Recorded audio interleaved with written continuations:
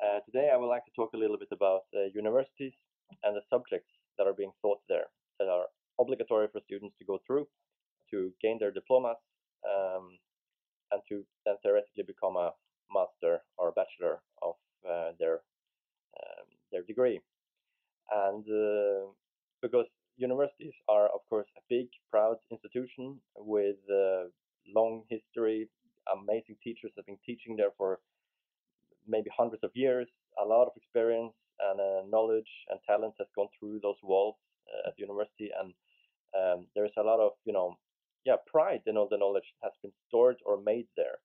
Uh, however, a lot of that is unfortunately a little bit out of date. The world is moving on. There are many new uh, situations that young musicians need to go through today that maybe are not being taught in those subjects anymore. This does not mean that those subjects are bad in any way, uh, but a little refresh on them somehow uh, would benefit the students more.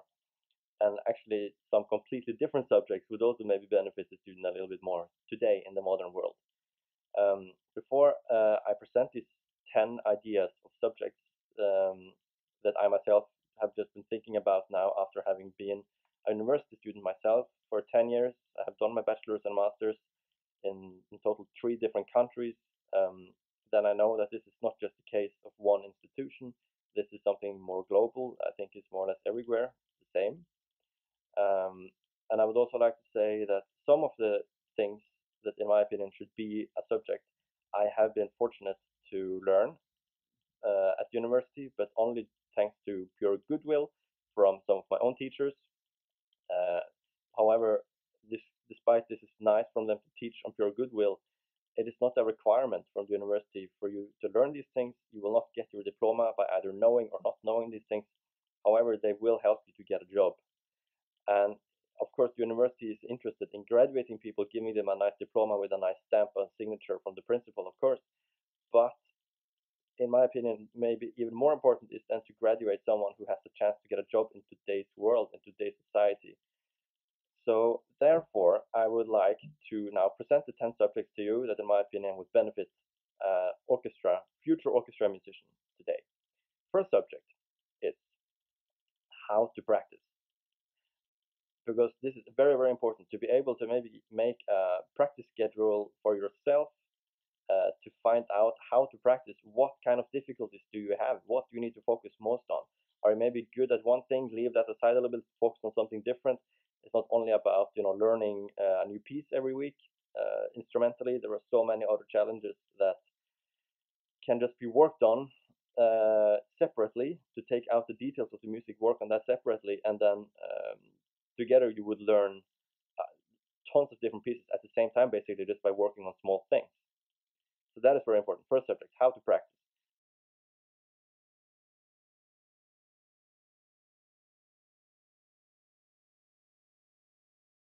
Subject number two, the study of instrument makers. Uh, this subject is something that would be benefit, beneficial for students because then they would actually learn what the differences are, which sound qualities are different, what kind of key mechanics are different, the bore of the instrument, uh, the history of the manufacturers, who are old, who are new, what is popular, what is not. It would also be uh, relevant for the students when they apply for auditions, and they would then know in advance, for example, okay, in this orchestra, everyone are playing on, let's say, Fox uh, this other orchestra, everyone is playing on Heckel.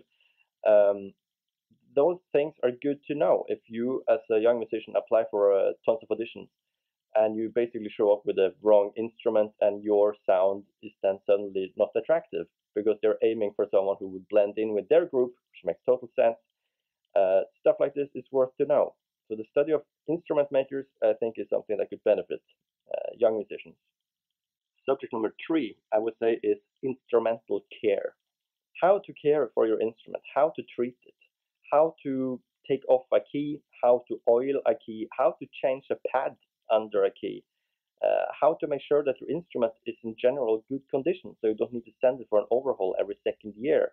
Uh, what to do, what not to do with your instrument, how to hold it, how to, you know, how to treat it properly, and, and how to fix it sometimes.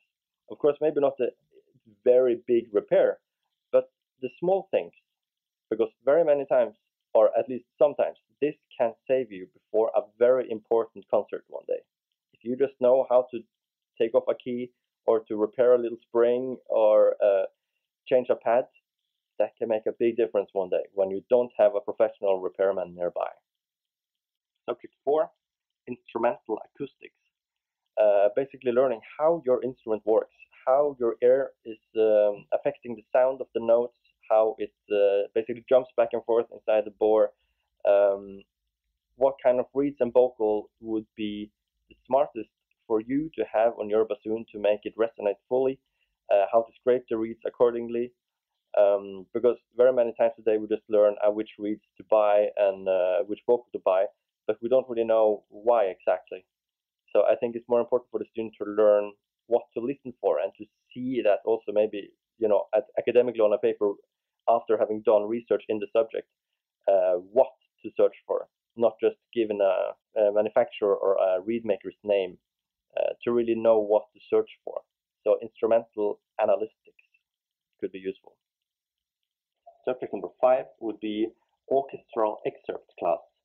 Um, so not only uh, learning your own excerpt in an uh, isolated practice room to know how to play your little melody, but also actually learning how to read a score, what to search for, which instruments are you playing with, what are typical rubatos here that you can be taught by either listening to recordings or from an experienced teacher who has played all this stuff in advance. Uh, especially maybe if you're learning opera literature, knowing that one 16 note can suddenly last 10 seconds. Uh, if it's a high note in Puccini, for example, it can last forever. Stuff like this is worth to know. Uh, because then if you come on the audition and you play the 16 note as like palm, mm, you know, the, it shows you didn't do research on this field, basically. So many times the music that is written down in a certain way is not meant to be played as it's written down, uh, which is one of many things that could be discovered in the orchestral excerpt class. Subject number six is um, uh, job applications and actually how to apply for a job, how to find out where to search uh, for job applications or uh, you know uh, how to submit your CV, how to write a CV, how to write an application, how to write a motivation letter, and which pages to look at. I mean, we have pages as um, musical chairs, uh, Video World, uh, Move Arc, uh, Audition Cafe, and many more. These are things that when I started my studies, I had no clue they even existed. Uh, this is maybe worth to know. So a subject like this, I think, would benefit also the students a lot. Also, for example, knowing if you want to apply uh, in a foreign country, then very many times if you write your CV and your application in the language of the uh, orchestra, so let's say you apply to Germany, you write it in German, your chances for getting invited has already been increased. Stuff like this is also worth to know. So a subject like this could be useful. Subject number seven, audition techniques. Being taught by someone who successfully have done a good audition and uh, learning some techniques on what to do and what not to do uh, for example, some hacks also, like if there is a screen on the audition, um, it's good to know, for example, some techniques there. Uh, if the jury is asking you to play even softer than what you are actually able to do, there are some hacks you can do there. For example, if no one can see you and there is a screen, you can, for example, turn yourself 180 degrees so your sound is projecting the wrong way, so you will automatically sound softer, or you can step closer to the screen, and this way the screen will kill a lot of your sound as well. So there are very many ways to to manipulate a little bit of what is going on on the auditions. So some audition techniques could be useful. Yeah, I might as well share another one here right now. If you don't have uh, a chance to uh, play in the concert hall that you're auditioning in before the audition finds place, you have no clue about how the acoustics are. Then, for example, when you tune, play your tune, tuning A as you normally would, and then in the very end, maybe also play a short A. This short A is something the jury don't even mind uh, why you played a short A, but for you it's very important because then you check automatically the acoustics in the hall. If you have tons of acoustics, you will know that some of the fast excerpts will sound better at a little bit slower tempo. Stuff like this, worth to know. Next subject would be tone blending and orchestral intonation. For example, if you happen to play Tchaikovsky's Sixth Symphony for the first time with a professional orchestra, and um, then it's quite beneficial for you to know that, okay, what happens in the start? Uh, contrabasses just go boom.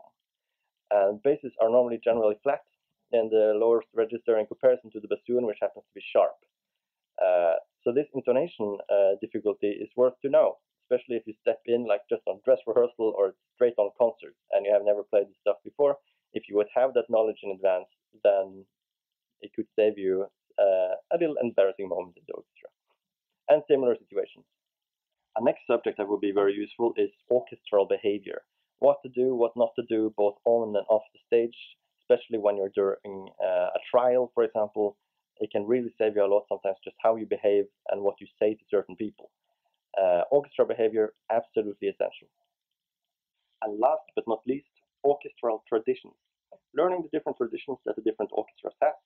Some orchestras out there, big and famous, like for example, Berliner Philharmoniker has tons of uh, recordings available online for you to listen to, so you can know how they play certain things. However, there are also much smaller orchestras out there that maybe don't have so much recordings available, but they still have a very proud and uh, strong tradition, which is something that we should learn more about. Um, this would both be beneficial for the applicants who are doing auditions because then they would know how to perform for that orchestra for them to like them more, and also it's uh, interesting for the orchestra, them, for the musicians there themselves then you will get more applicants who actually play in the same kind of style and are interested in the same kind of musical uh, tradition as they already have. So after having said all this, then, uh, like I said again, it is often difficult to present new ideas like this without uh, stepping on someone's feet. So I hope that no one uh, felt strange or like um, stepped on somehow because I mentioned uh, some ideas that maybe some of my own teachers have already worked a little bit on, but these are things that are not required from any university for you to learn. It doesn't say on your diploma, ah, you just learned how to play songs. Uh, even though that would be more useful for you as a bassoonist at least than to having like, okay, you know how to compose a 12 tone fugue. Uh, you know, uh, I think it's important to mention these things because um, if no one does, then the same subject will just continue forever. And uh, I think it's time we maybe update uh, some of the system here. So I'm very thankful for that you are listening in on some thoughts of this. Please let me know what you think in the comments below. If you either agree or disagree, both are interesting um, aspects to hear.